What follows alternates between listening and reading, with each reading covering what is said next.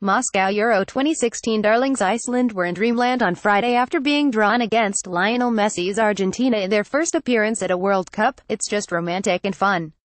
They are connected to the romance of the World Cup. Heimir Hallgrimsson, the coach of the smallest of the 32 nations at the marquee June 14th-July 15th competition, said after the draw in the State Kremlin Palace. After opening their campaign against Argentina in Moscow on June 16, Iceland will face Nigeria on June 22 in Volgograd and Croatia on June 26 in Rostov-on-Don.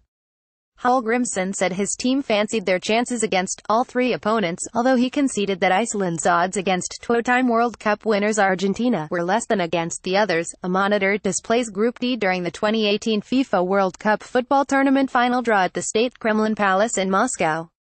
AFP, you know football, you always have a chance.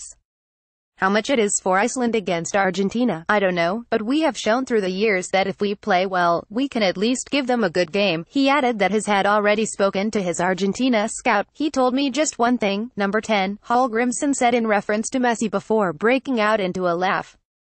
Iceland and their Viking fans became the Euro 2016 darlings after shocking England 21 to reach the quarter-finals. With much of the world cheering on, Iceland's magical spell shattered after they received a 52 thumping from tournament hosts France. Asked if he was expecting to be everyone's second favorite team next year in Russia, Hallgrimsson said shyly, We hope so.